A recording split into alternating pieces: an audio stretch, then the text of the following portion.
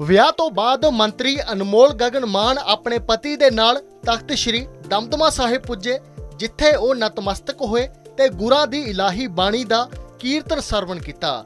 ਇਸ ਮੌਕੇ ਗੁਰੂ ਘਰ ਦੇ ਵਿੱਚ ਪੁੱਜੀ ਹੋਈ ਸੰਗਤ ਨੇ ਮੰਤਰੀ ਅਨਮੋਲ ਗਗਨ ਮਾਨ ਦੇ ਨਾਲ ਫੋਟੋਆਂ ਕਰਵਾਈਆਂ ਨਾਲ ਉਹਨਾਂ ਦੇ ਪਤੀ ਸਹਿਬਾਜ਼ ਸੋਹੀ ਵੀ ਮੌਜੂਦ ਰਹੇ।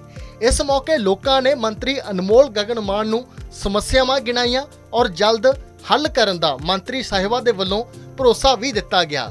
ਇਸ ਮੌਕੇ ਗੁਰੂ ਘਰ ਦੀ ਕਮੇਟੀ ਦੇ ਵੱਲੋਂ ਮੰਤਰੀ ਅਨਮੋਲ ਗਗਨ ਮਾਨ ਤੇ ਉਹਨਾਂ ਦੇ ਪਤੀ ਸਹਿਬਾਜ਼ ਸੋਹੀ ਦਾ ਸਨਮਾਨ ਵੀ ਕੀਤਾ ਗਿਆ। ਦੱਸਦੇ ਕਿ 16 ਤਰੀਕ ਨੂੰ ਜ਼ੀਰਕਪੁਰ ਦੇ ਵਿੱਚ ਮੰਤਰੀ ਅਨਮੋਲ ਗਗਨ ਮਾਨ ਦਾ ਵਿਆਹ ਹੋਇਆ ਸੀ। ਤਾਂ ਅੱਜ ਗੁਰੂ ਘਰ ਦੇ ਵਿੱਚ ਨਤਮਸਤਕ ਹੋਏ ਨੇ। ਤਖਤ ਸ੍ਰੀ ਦਮਦਮਾ ਸਾਹਿਬ ਪਹੁੰਚੇ ਨੇ। ਪਤੀ ਸਹਿਬਾਜ਼ ਵੀ ਉਹਨਾਂ ਦੇ ਨਾਲ ਨਜ਼ਰ ਆ ਰਹੇ ਨੇ। ਦੋਵਾਂ ਨੇ ਸਰਬੱਤ ਦੇ ਭਲੇ ਦੀ ਅਰਦਾਸ ਕੀਤੀ। ਨਵੀਂ ਜ਼ਿੰਦਗੀ ਸ਼ੁਰੂ ਹੋਈ ਹੈ ਤਾਂ ਹੁਣ ਲੋਕਾਂ ਦੇ ਵੱਲੋਂ ਆਪਣੀਆਂ ਸਮੱਸਿਆਵਾਂ ਵੀ ਇਸ ਮੌਕੇ ਗਿਣਾਈਆਂ ਗਈਆਂ ਨੇ ਔਰ ਗੁਰਦੁਆਰਾ ਕਮੇਟੀ ਦੇ ਵੱਲੋਂ ਮੰਤਰੀ ਅਨਮੋਲ ਗਗਨ ਮਾਨ ਤੇ ਉਹਨਾਂ ਦੇ ਪਤੀ ਦਾ ਸਨਮਾਨ ਕੀਤਾ ਗਿਆ। ਬੰਦ ਹੋਣ ਕਰਕੇ ਉਹ ਕੰਟਰੀ ਬਣਦਾ ਜਾ ਰਿਹਾ।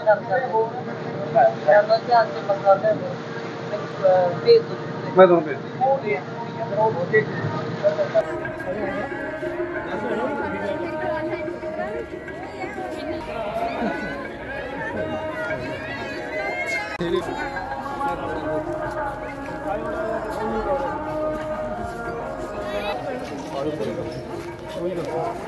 ਵਿਆਹ ਤੋਂ ਬਾਅਦ ਮੰਤਰੀ ਅਨਮੋਲ ਗਗਨ ਮਾਨ ਆਪਣੇ ਪਤੀ ਦੇ ਨਾਲ ਤਖਤ ਸ੍ਰੀ ਦਮਦਮਾ ਸਾਹਿਬ ਪੁੱਜੇ, ਜਿੱਥੇ ਉਹ ਨਤਮਸਤਕ ਹੋਏ ਤੇ ਗੁਰਾਂ ਦੀ ਇਲਾਹੀ ਬਾਣੀ ਦਾ ਕੀਰਤਨ ਸਰਵਣ ਕੀਤਾ।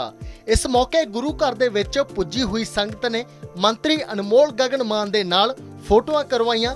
ਨਾਲ ਉਹਨਾਂ ਦੇ ਪਤੀ ਸਹਿਬਾਜ਼ ਸੋਹੀ ਵੀ ਮੌਜੂਦ ਰਹੇ।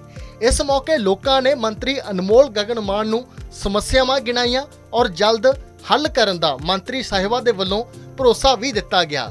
ਇਸ ਮੌਕੇ ਗੁਰੂ ਘਰ ਦੀ ਕਮੇਟੀ ਦੇ ਵੱਲੋਂ ਮੰਤਰੀ ਅਨਮੋਲ ਗਗਨ ਮਾਨ ਤੇ ਉਹਨਾਂ ਦੇ ਪਤੀ ਸਹਿਬਾਜ਼ ਸੋਹੀ ਦਾ ਸਨਮਾਨ ਵੀ ਕੀਤਾ ਗਿਆ। ਦੱਸਦੇ ਕਿ 16 ਤਰੀਕ ਨੂੰ ਜ਼ੀਰਕਪੁਰ ਦੇ ਵਿੱਚ ਮੰਤਰੀ ਅਨਮੋਲ ਗਗਨ ਮਾਨ ਦਾ ਵਿਆਹ ਹੋਇਆ ਸੀ, ਤਾਂ ਅੱਜ ਗੁਰੂ ਘਰ ਦੇ ਵਿੱਚ ਨਤਮਸਤਕ ਹੋਏ ਨੇ। ਤਖਤ ਸ੍ਰੀ ਦਮਦਮਾ ਸਾਹਿਬ ਪਹੁੰਚੇ ਨੇ। ਪਤੀ ਸਹਿਬਾਜ਼ ਵੀ ਉਹਨਾਂ ਦੇ ਨਾਲ ਨਜ਼ਰ ਆ ਰਹੇ ਨੇ। ਦੋਵਾਂ ਨੇ ਸਰਬੱਤ ਦੇ ਭਲੇ ਦੀ ਅਰਦਾਸ ਕੀਤੀ। ਨਵੀਂ ਜ਼ਿੰਦਗੀ ਸ਼ੁਰੂ ਹੋਈ ਹੈ, ਤਾਂ ਹੁਣ ਲੋਕਾਂ ਦੇ ਵੱਲੋਂ ਆਪਣੀਆਂ ਸਮੱਸਿਆਵਾਂ ਵੀ ਇਸ ਮੌਕੇ ਗਿਣਾਈਆਂ ਗਈਆਂ ਨੇ ਔਰ ਗੁਰਦੁਆਰਾ ਕਮੇਟੀ ਦੇ ਵੱਲੋਂ ਮੰਤਰੀ ਅਨਮੋਲ ਗਗਨ ਮਾਨ ਤੇ ਉਹਨਾਂ ਦੇ ਪਤੀ ਦਾ ਸਨਮਾਨ ਕੀਤਾ ਗਿਆ। ਬੰਦ ਹੋਣ ਕਰਕੇ ਜੀ ਉਹ ਕੰਟਰੀ ਬਣਦਾ ਜਾ ਰਿਹਾ। ਮੈਂ ਕਰਦਾ ਮੈਂ ਚਾਹ ਕੇ ਮਸਾਲੇ ਨੂੰ ਭੇਜ ਦੂੰ ਮੈਂ ਤੁਹਾਨੂੰ ਭੇਜ ਹੋ ਗਿਆ ਉਹ ਹੋਤੇ